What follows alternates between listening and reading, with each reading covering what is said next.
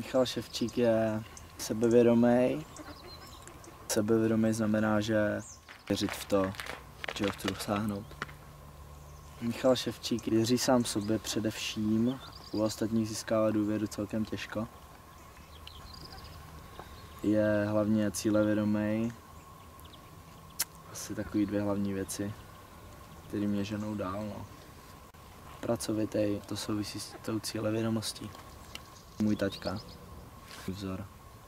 Ať už kvůli tomu, co dokázal v práci, tak kvůli tomu, co furt do teďka předvádí na hřišti. Je to rodič, který mě od malička vedl. Pomohl mi tak hodně v sebevědomí, ale ne, že by mi pomohl, uh, možná kdyby, kdyby se někoho jiného takhle zeptali, tak odpoví jinak, ale on mě pomohl tím, že mi ho srážel. Srážel tím myslím tak, že když jsem zahrál nějaký dobrý zápas, za mě dobrý, když jsem měl fakt z toho dobrý pocit, tak, tak mě uh, vyčetl ty věci, které tam byly špatně. Tím pádem mi došlo, že to asi tak dobrý nebylo. Takže jsem si, jsem si to sebevědomí jako zvětšoval tím, že jsem překousl to, že mě taťka prostě vyčítal věci a takhle jsem si ho obrňoval to sebevědomí a to si myslím, že mě pomohlo asi je to nějaký vnější vliv, já si můžu myslet, jo, bylo to dobrý, ale když za mnou přijde jeden, dva, tři, víc lidí a řekne, že to tak dobrý nebylo, tak je to na zamyšlení, že bych asi měl pracovat ještě víc. Den před zápasem v noci, tak vždycky než usnu, tak jsem tak jako ležím a přemýšlím, co bych zítra chtěl asi na tom hřišti předvést, co bych pro to mohl udělat a jak bych chtěl, aby to dopadlo.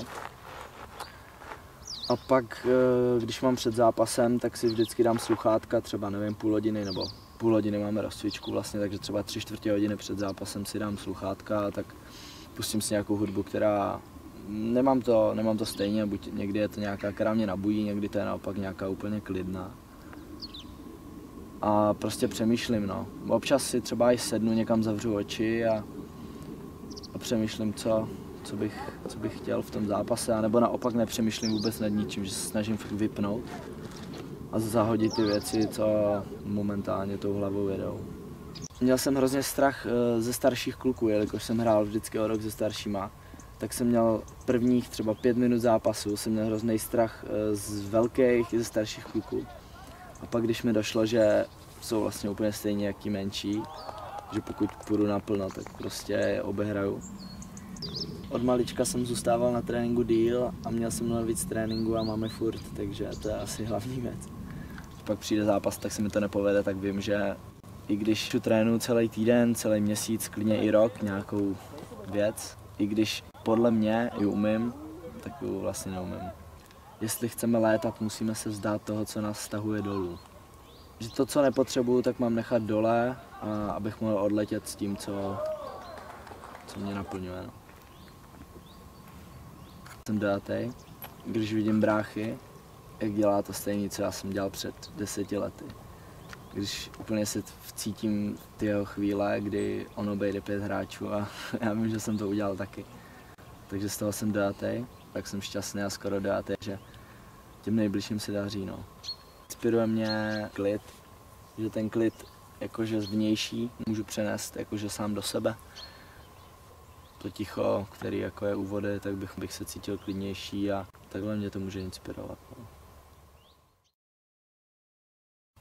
Snění, to je prostě představa sama sebe, sám sebe za nějaké okamžiky, ať už je to zítra, ať už je to za rok. Prostě mám sen, sním o tom, že budu tam a tam a sebevědomě, sebevědomě zatím půjdu, takže snění je si myslím hrozně důležitý.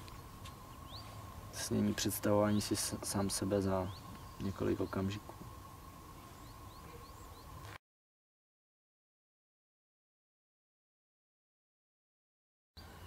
Vážím si na druhý, když, když uh, je nějaká věc vzájemná, když já někomu dávám svůj čas a on mi ho pak vrací, toho si vážím. Nebo když, když mi někdo svěří nějakou, nějakou věc, která je pro něho důležitá, takže patřím jako do jeho nejbližšího okruhu. Když je někdo ke mně upřímný, tak to taky ocením, když to občas bolí třeba.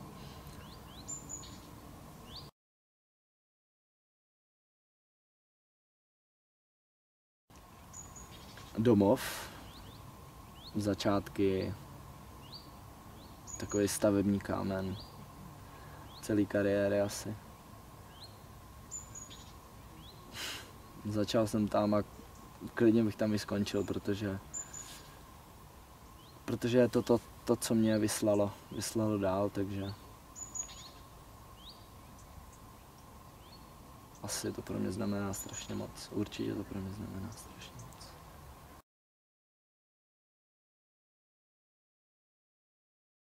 Že umí pracovat s hráčema, nechci říkat, že ostatní týmy neumí, to vůbec ne, ale, ale umí to nějak, nějak jinak, speciálně.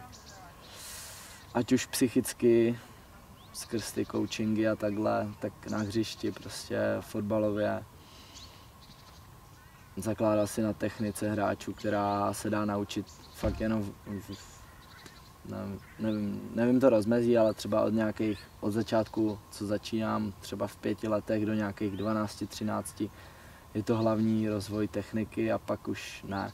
A spousta týmů si myslím, že už od malička hledá, hledá prostě v tom fotbale taktiku, běhání, nahrávky a tady tyhle věci, což si myslím, že se dá naučit klidně během roku, ale během roku až potom, takže bych asi Foška je výjimečná v tom, že si zakládá na té technice obcházení jeden na jednoho a to je výjimečný.